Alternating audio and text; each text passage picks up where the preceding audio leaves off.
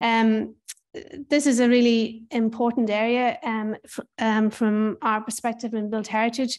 It, it's one that's going to become, I think, even more pressing because, um, you know, with policy change, with climate action, we are going to have to get our head around reusing buildings and the resources and assets that we have, retrofitting our towns and places. Um, and really, um, no one is the one solution is actually is this idea of working together. And I think, you know, a lot of our problems in the past, I suppose, came from silo working or silo thinking. So we're all part of the solution. And as I say, today for me is a very um, good step forward, uh, trying to work with you and, and trying to find out. I'm very happy to try and help uh, as I can. Now I'll just try and get my head around clickers here. Um, just the first slide there is is about some of the work that's been done uh, under the Historic Towns Initiative um, and other uh, funding programs, but it, it, it is about, I suppose, getting good access to uh, towns and to monuments and to protected structures in general. Um, and I suppose the policy context um, that we're operating in is in our national policy on architecture, and it's called Places for People. Uh, sustainable development goals are embedded in it, um, high quality principles, um, the idea that universal design is, is front and forward of everything we think about and, and do. And I suppose when we were devising the um, policy and architecture, we were very aware that there was very little research on the built environment, which also doesn't really assist us when we're trying to do some of the heavy lifting that we're doing. So one of the actions of the uh, policy is to carry out research and to disseminate it. And this morning, I was very encouraged to have a, a phone call from colleagues in a, a, university who were saying to me that there is a new European standard for access and that it's now starting to inform uh, funding programs and research. And I think that's a really um, great move forward in, in terms of uh, supporting this idea of integrated thinking, of bringing not just access and universal design, but also thinking about sustainability, climate action, uh, uh, energy efficiency, um, and I suppose the, the whole sort of social and cultural dimension that that all brings together. So I hope to be able to come back to you with maybe some research in the future about um, practice and toolkits for this kind of thinking.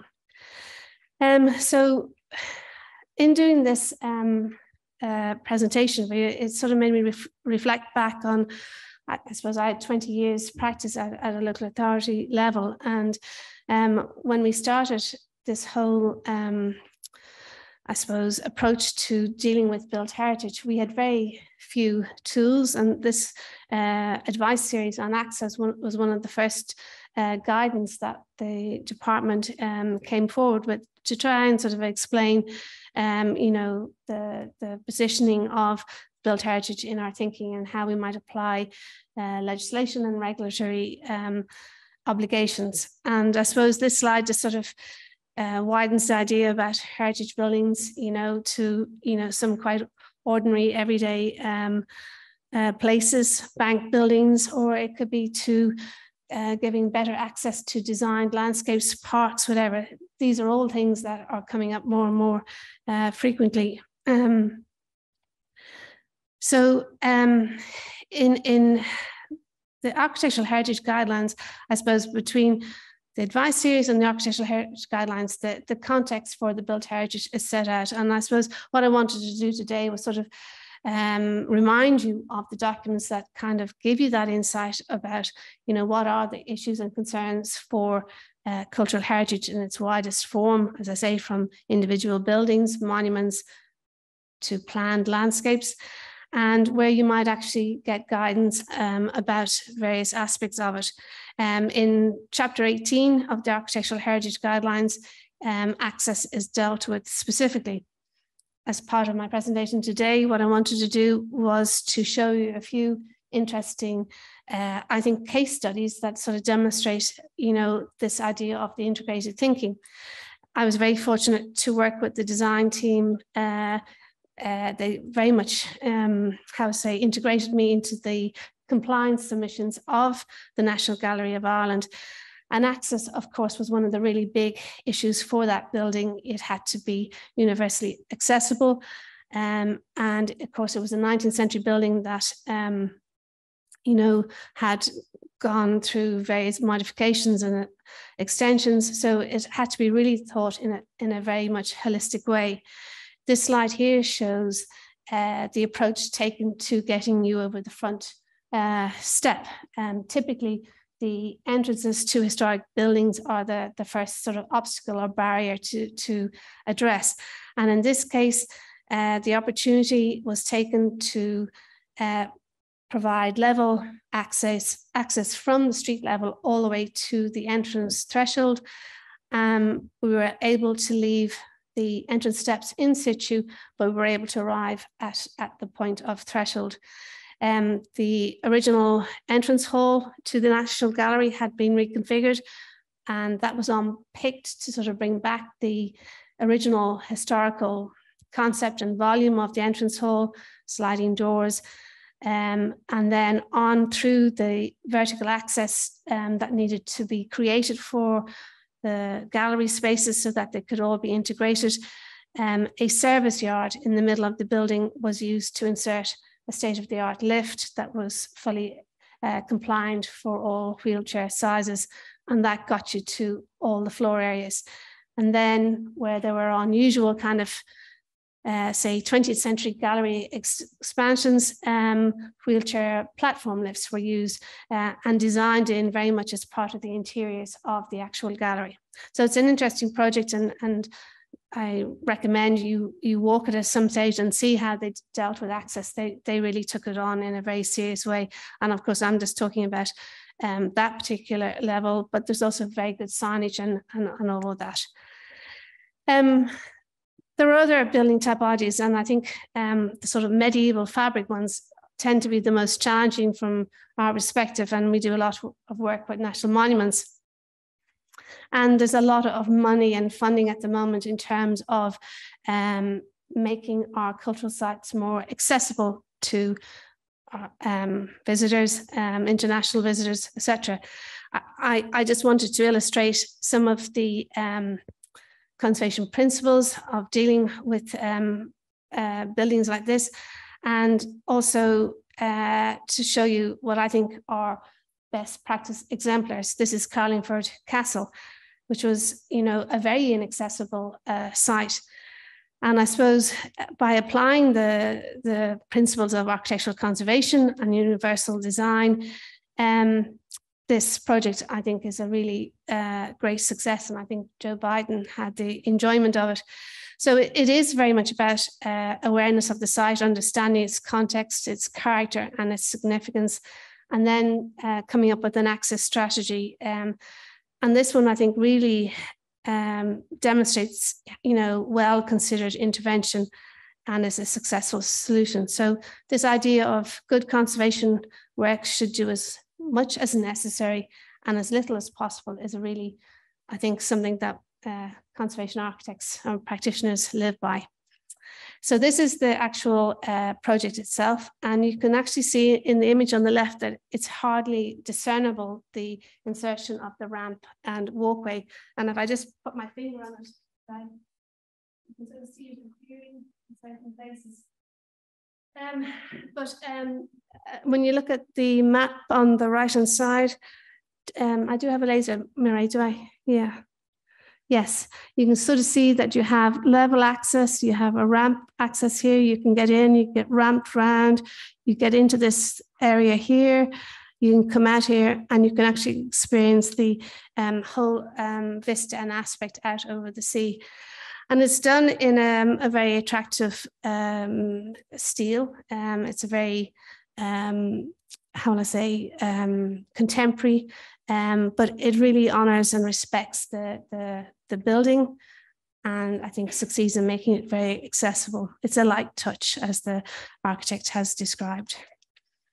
Um, universal design, as I say, um, I think this is a um, something that I just wanted to draw to your attention with Town Centre first. Um, there's a real focus on towns.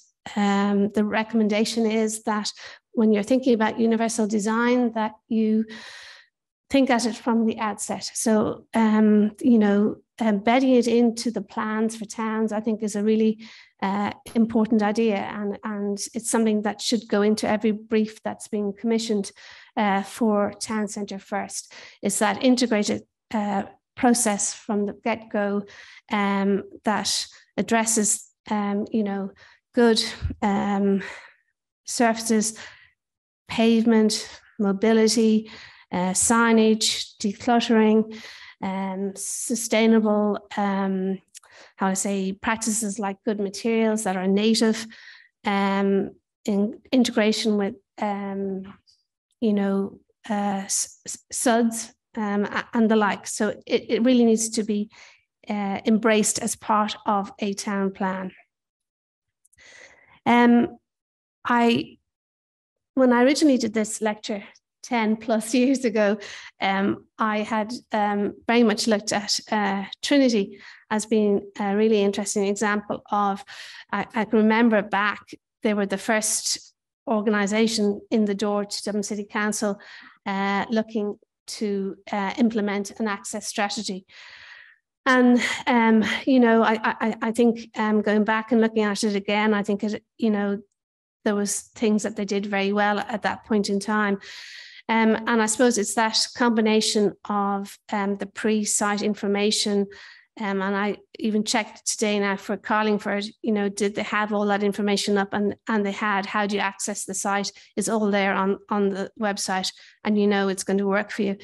Um, the trained staff and the awareness, um, the external landscape. And I mean, this was something that they really uh, pushed very hard on, and it was something that you know um, took a while uh, to work out, um, but they were adamant that they needed a smooth surface through the cobbles of, of Trinity. And you can see in the image there, um, this is the new paving that went in and it went uh, around the edges of the, the forecourts.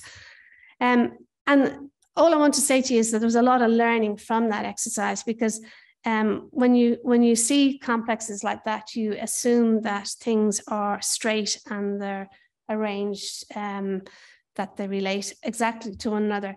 And it's only when you start to put in something that's very metric and um, grid that you suddenly realize that re relationships aren't perfect. So, for instance, there's on one of the um, sort of you know these classical door cases, the paving is off center. And it's those sort of things that you have to sort of think of as a designer. How, how does this very enforced grid on a very organic space actually work and adjust accordingly?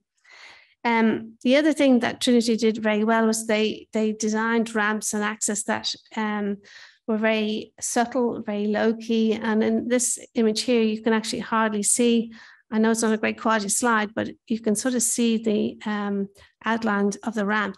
And that is sort of testimony to how subtle the design of the uh, steps were.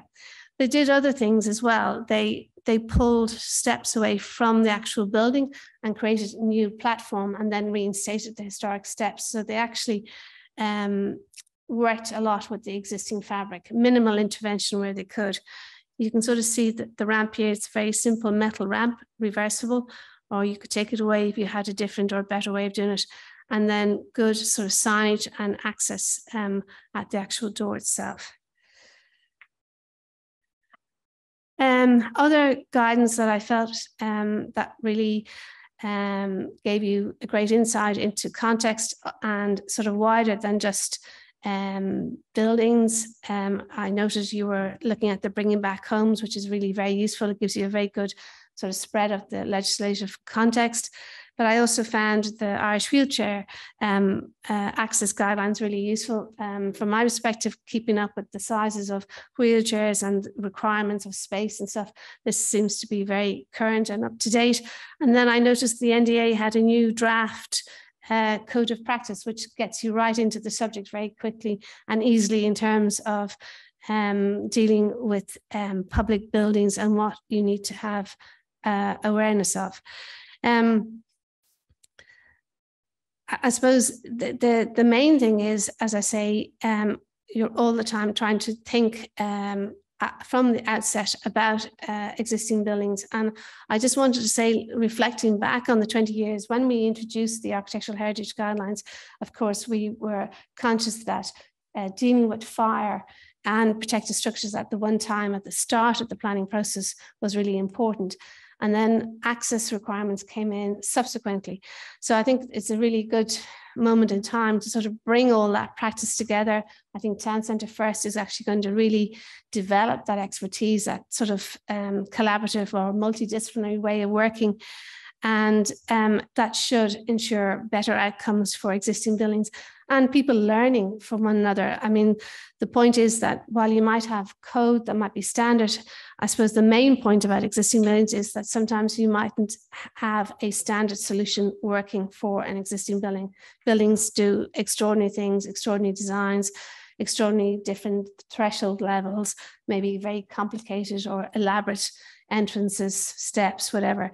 So sometimes it is a case by case um, approach and sometimes it has to be a, a very innovative solution to to drive the the the outcome that you need to to achieve and giving that task just to one person in isolation is not going to be as successful if a few people's heads come together and actually try and drive a, a solution. Um, and I also remember using this book, Accessible Heritage Sites, and I thought that this was a very useful document as well to sort of um, understand the conflict between regulation and legislation. And you know this idea that there needs to be a balanced compromise so that you land on the right side that's both beneficial for enhanced access but also that is um, not destructive uh, to a building. Um, and um, i remember my professor in UCD sort of you know really sort of stressing the idea that minimal intervention um, is really desirable because you know uses of buildings change, uh, practice change. There's new technologies, and so avoiding uh, a destructive approach is is really important for a, a very culturally significant building. So I mean, the NIAH tries to draw your attention to maybe the importance of individual buildings. Um, it's an interim survey; it doesn't get you know a full record of all the buildings so it really is uh, working with the architectural heritage assessment of a site to actually understand what is culturally significant about a building. It could be just the exterior and its setting or it could have a very important uh, interior with very early fabric and that's the sort of information you're trying to get out of a, an architectural heritage assessment so the conservation principles, um, they're worth going over, um, understanding the building and its historical development. Um, I, suppose that's the difference in practice between contemporary design and historical buildings. Um, it's really understanding, you know, is this one of a, of a type or is it, is is it a collection of many?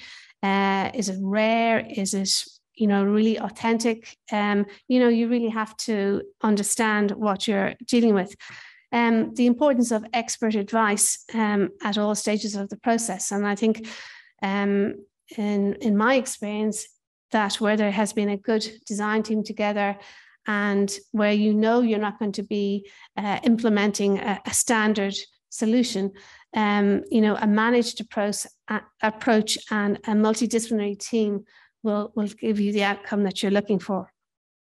And then, as I say, it's not just you know get the architectural heritage assessment report, but actually understand what is the thing that is being really trying to um, be minded, protected, etc. Minimal intervention. What is what what what is that? You know, how far are you prepared to go? Is there an adjustment that can make the thing work, or is it a, a, wholesale dismantling of a set of steps? um, record the alterations for, for very important uh, cultural buildings. It's, it's, that's best practice. Respect all previous alterations of interest. There can be extensions and modifications to a building, and maybe they give you the opportunity to, say, insert a, a secondary entrance. Is, is that the location where um, everybody can um, adjust to, and that becomes the main entrance or access point uh, for, for the building, and a less focus on the main entrance. Repair and retain rather than replace historic fabric.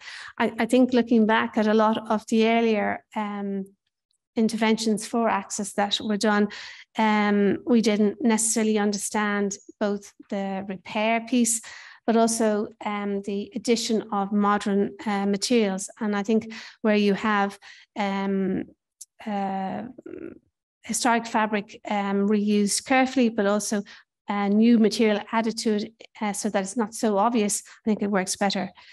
Um, you know, obviously new work should be uh, discernible, um, but they need to be sympathetic and reversible. And then this piece about craftsmanship, I think, is really very important, especially for culturally important buildings. This image is of Monkstown in Laoghaire, and it's an RIAI award scheme.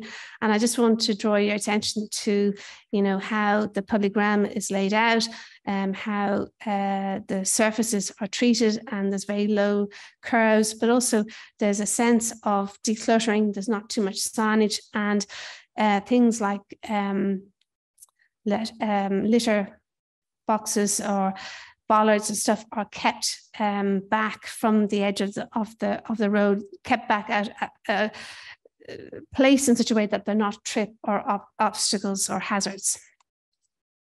Um, I just also wanted to draw attention to these because I found them particularly useful in terms of existing towns and villages and this whole idea of you know upgrading um, parks and, and historic landscapes. And I just included this piece about staircases because I'm very aware in the work that I do that staircases tend to be uh, under the most pressure in terms of access um, and sometimes their full removal is, is where um, the proposals end up. And really, um, from a built heritage point of view, the, the staircase tends to be the flourish or the point of excitement in, in a building. It can be the piece of best craftsmanship. It is the piece maybe that tells you the history of the building. And I suppose resisting heavy modification or removal would be um, a principle that we would think of in the reuse of existing buildings. So, for instance, when you have the subdivision of a you know a traditional building, uh, maybe two, three stories into multi- multiple uh, apartments, the staircase can be the thing that comes under pressure in terms of access. And I suppose it's the level of subdivision really has to be thought about and the alternative means of escape. Um, and that needs to be at the front of the of the conversation. Um, I drove past Moate today and I happened to be in Moate previously and I was intrigued by Moate when I um, visited the first time because um, I suppose the point I made to you earlier about this idea about towns and their upgrade and their remaking and their revitalization and the planning that will hopefully come with Town Centre First um, will uh, allow for this integrated thinking about universal access. And I can see in Moate that a lot of retrofitting of um, access to historic buildings and places uh, took place. And and I suppose it's that incremental um, uh, adjustment or modification. Um, you know, you could possibly um, have less onerous um, alterations where it was all planned as one landscape or one integrated landscape. And the other reason why I put this slide in is that I, I wanted to sort of make a mental note to do, to remind people that when when you do um, carry out, you know, this level of um, upgrade, that it's really important to go back and check, is it being maintained? And have people added other stuff like the, the bins uh, on the right hand side and, and then the bicycle racks, I think have gone in here. And there's been an, an ongoing adding in of stuff that suddenly makes the access to the stairs and to the lift here over on the right hand side um, much more complicated. The other thing I wanted to draw attention to was that when we started Access First, we just loved stainless steel. Everything had a stainless steel handrail. And it, it is not a a native material or indigenous material. And we have extraordinary um, craftsmen and we have a great tradition of, of other things like flat flat metals and timber and, and all of these things. So um, I just wanted to make the point. I think people used to think that we used to advocate for stainless steel. Not necessarily. We, we, would sooner you work with the character of the building and make it as sympathetic and as sensitive uh, as possible. And then I suppose, you know, these are a very, like, I mean, this is a dramatic, uh, you know, building. Um, I think they the solution of siting this access ramp to the left hand side was was well considered. Um, I think it was the detailing of it was less well considered. it, it is quite um, uh, heavy in terms of the sections and stuff, and I, and those are sort of things I think that refinement and stuff would make that sit in a lot um, more sympathetically. And then there are a number of handrails here, which um, I would question whether they're all needed. It's, it's, this is sort of catering for traffic like what you might have coming out of a football stadium. And maybe less, less handrails would be um, more sensitive to the classical setting of the building. So these are these are things that I think you have to go back and look at um, and learn from. And as I say, I'm open to a conversation about any of this. This is where I learn as well. Um, the, oh, sorry, apologies. I just wanted to make one other point. This is the bank building, and you know, it's, it's, it's quite extraordinary the number of bank buildings that have gone in Irish towns. And I, I remember very clearly that there was a great effort to um, have access improvements. And some of them work very well. Some of them as i say this one's quite you know, complicated here in the corner, but also um, the use of different materials. And and what I really noticed in some places is that where say less um, well detailed things like concrete steps and stuff, they really deteriorate over time. And I think you need to choose appropriate materials to the, the character of the building and think about it in the long term. And as I say, maintenance is a big part of all of this. So the, the rule is that you never show bad images, but I think it's worth sort of thinking about some of the things. And then really you should leave people with only good images. So I'm endeavor not to show you any more um, uh, images that are less less satisfactory. Um, this is in Kilkenny, where a very well considered um, staircase has been put into the rear of the building and providing very good access. And you can sort of see it kind of addresses the, the plinth of the building and it its material is similar to the paving that surrounds. So there's full um, circulation space and um, a nice um, wall with it. Um, and this is another image of, I just wanted to show you alternative materials. There's timber and a steel staircase. And I suppose uh, both of these examples sort of show, uh, you know, the benefit of a well-sited uh, intervention, which I think is really important in the heritage context. Um, this one is the the rising uh, platform, um, and uh, it's, very discreet to one side. Um, the gravel has been held back off the perimeter of the building, and surface hard surface um, paving to get you to the um, site. And as I said previously, you know, when we started talking about fire and protected structures, we were kind of focused on the fire, but of course you have to get people back out. And I think it's that holistic thinking has sort of um, made us um, better at planning um, interventions in, in, in, in, in buildings. This is Monkstown again, and I should have really put this with the other slide, but you can sort of see how clear the footpath, the the poles are all back against the wall, the services boxes, and even the sort of public realm uh, um, artifacts are kept tight to the boundary wall so that, that it's not all out in, in, in, the, in the way. Um, I included this one of um, uh, Laoghaire, and it, it, sort of always um, provoked me in terms of what did I really think about it. This is a, a very beautiful classical little building, but there's no doubt that the um, access around it, um, the whole context has become a contemporary one. And in this instance, um, a, a, vertical lift has been inserted very quietly to one side, and um, you can land up here on the upper level. And of course, on this side here, you have a long ramp running up uh, to the platform as well. So I, I think this was well thought out. You can have you have one handrail down the middle, and of course, where you have um, a lift, you also need steps. But I think this um, design, I suppose, responded to its new context and um, provided a setting for the historic uh, building. Merrion Square was an interesting project because uh, Merrion Square has a big dip down into it, and every um, access point to it had a set of steps. So this is a new entrance area that was created at the east end of Merrion Square.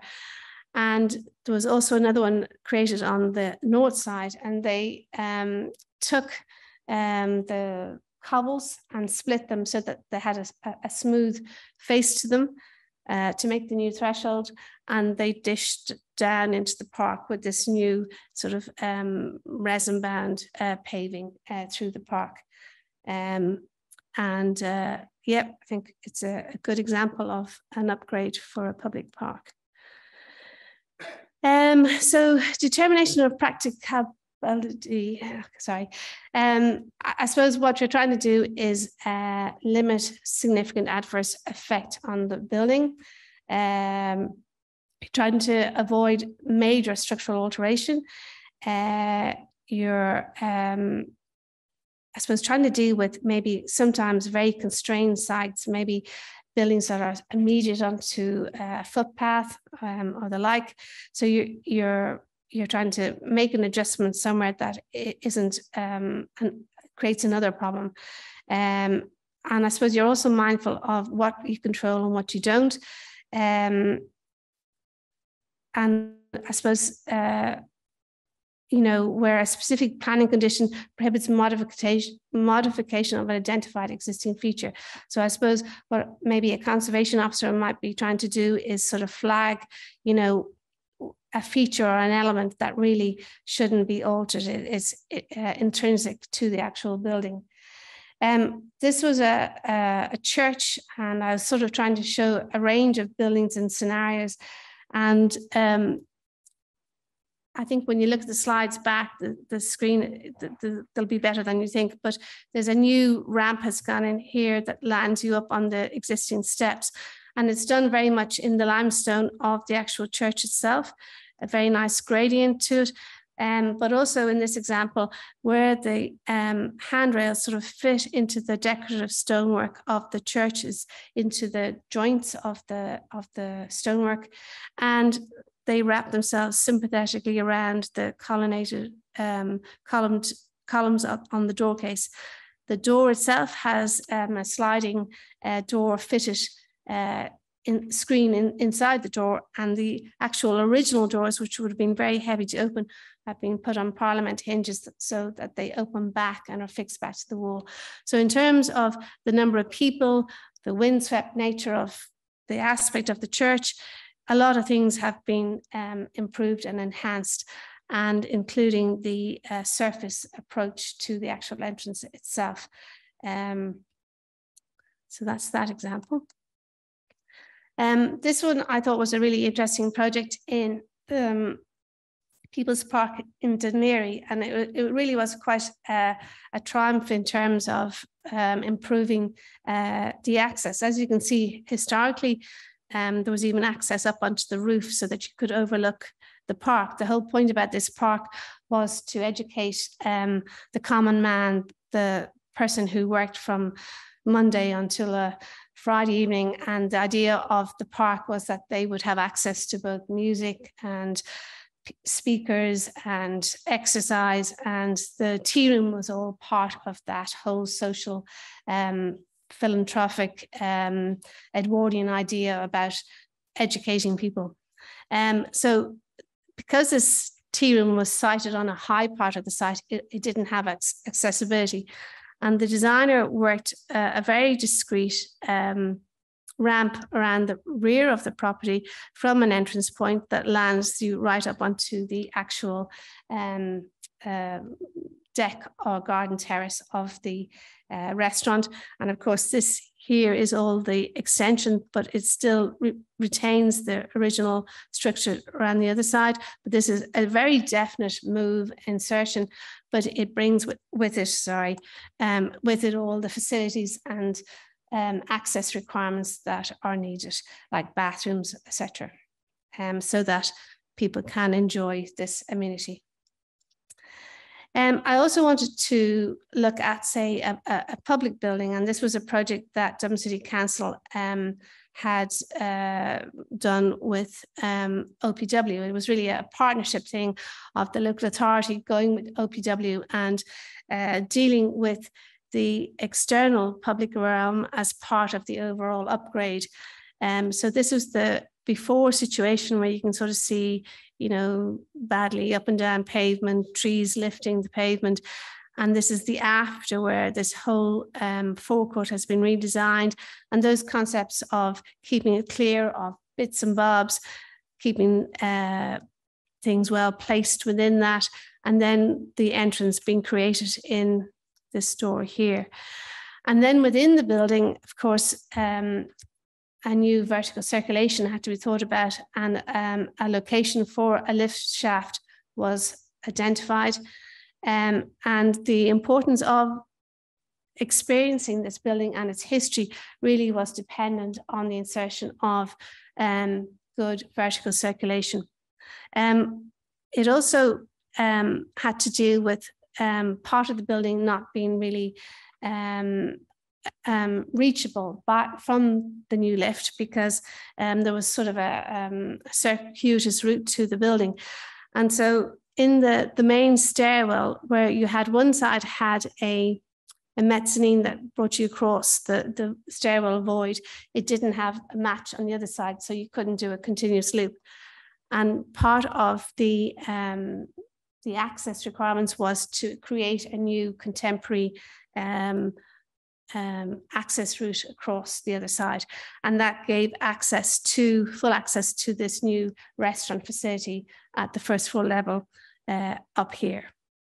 So I suppose what I'm trying to say is that sometimes to keep a building in good use, to um, deal with the long-term benefit of having a really good use that's going to stay in a building for a long time, it really is worthwhile working at um, the access requirements and all of that and trying to make them work for, for the building in a very well considered um, way. Um, so that's uh, one of my, I think, great, interesting case studies. This is another one that had this sort of long-term vision of itself that wanted to stay in a particular site, that had a particular cultural significance, had a particular story to tell. This is the Museum of Literature. Um, and it's it's another complexity to it because it, it is two protected structures that are interconnected and then a third. So you have three interconnected uh, buildings and dealing with the access to that and getting all the floors working together um, was, was, was challenging, but also to get uh, you in the front door, which is these set of steps here. And one of the things um, about the front door is um, that the threshold stone had been worn down um, uh, by the students stepping over the threshold. And um, the, the, curator did not want to remove that um, story from the building. So um, main access is kept to the front of the building, but there is a cut in the wall and not you know, desirable to cut an 18th century uh, boundary wall of, of a building of this prominence, but um, it was done in such a way uh, that it was as minimal as possible. And that gave level access uh, through the basement to the rear of this property here, where this lift shaft was designed so that it serviced all the floors, gave you access to very good bathrooms, um, exhibit exhibition space.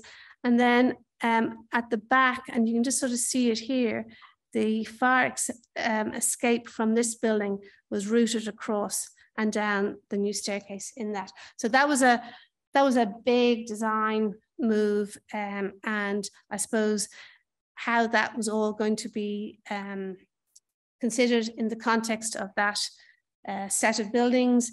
Um, and as I say, the access designed to it took a while with a multidisciplinary team, but I think it, it's a good long-term solution for that building that will keep it um, viable. And then a lesser one would be, and the, the Georgian one, uh, the Georgian topology very much um, dominated our thinking in Dublin City Council and um, trying to deal with the sort of cultural quarter of Merrion Square and how you deal with the Georgian typology and make uh, spaces available for bigger groups of people to visit and accessibility. This was one where, you know, dealing with car parking and rear access for everybody, uh, bikes and, and all the rest. And then a pair of stairs that went down either side of this decorative uh, ornamental uh, terrace that was designed to the back of the property. Um, seemed to be a reasonable compromise in, in that situation. Um, but there are also um, other front access Georgian uh, ones. And then I just wanted to deal with, um, I mean, I'm aware like, like these buildings do sometimes return to residential use. Uh, this one was uh, on Main Square and an elderly wealthy lady wanting to have a lift insertion and how that was dealt with was this um, designed insertion here, which gave access uh, to basement and ground floor. And I think it actually went sliding up there as well. So the, all the new stuff in terms of accessibility, uh, bathrooms, lifts, services, um, all went into this uh, new piece between the old and this uh, return here at the back. There's an interesting uh, case study. Yeah, sorry. Um, and then sometimes, uh, you know, uh, really paying attention to how access um, access can be given at street level, and so that it doesn't uh, detrimentally or incrementally uh, impact on, on a rhythm or a character area. This I felt was a, a good solution in that the carriage arch was used to insert um, a platform lift, which actually got got over the levels and got you into the buildings in the lesser room to the rear of, of the property. Um, I'm sorry, the slide is clearer than on the screen, but it, it avoided the alteration here and the um, how I say the projection of a platform lift um, out into the street. It allowed a very nice new entrance, as I say, through this building. Um, a lot of uh, funding at the moment is going to uh, cultural uses and adaptation of buildings. And I thought this one was a really interesting one. And I suppose the approach uh, is that, um, you know, the new services, the lifts, the bathrooms can all be planned into a contemporary extension to the rear of the property. Um, the level access is dealt with in the public realm. Um, and, you know, you're able to move through uh, contemporary doors, as I say, this idea of sliding doors, but keeping the original doors within the building. Um, and um, I suppose putting the building back into very good uh, community use, um, really becoming a focal point of the town. Um, I'm nearly there now. I just wanted to show you a, a selection of a of different projects uh, as maybe aide-mémoires for other scenarios. Um, this is Henrietta Street, and this was uh, a project that was recognised at a European level. Um, and really, um, there was several aspects to this. Um, it was design of the um, the lift shaft and the bathroom facilities for the museum, how it connects to the actual historic building itself. Um, but this has made this building, you know, accessible uh, to basement ground and first so that um, somebody can enjoy the uh, exhibition in, in, of the building and sits very favorably with the rear of, of the property. Internally, um, the main staircase had been removed when this building was a tenement and a contemporary redesign in the character of, of a, a Georgian staircase was reinstated. Um, but I suppose the overall access strategy and plan very much worked with the fabric of the building and didn't remove historic fabric, but actually tried to give as much access and I suppose coherence to what had become quite a fragmented uh, building. And this one is the Goethe Institute, um, which also worked with the Georgian typology, where um, the rear of the site had been lost in terms of the buildings removed. And working with the section, uh, it was reinstated so that the uh, basement vaults were put back with contemporary construction and a whole new contemporary building put to the rear, which had all the access, uh, the lifts, um, the services, the bathrooms that uh, compensated for the, the principal structure itself.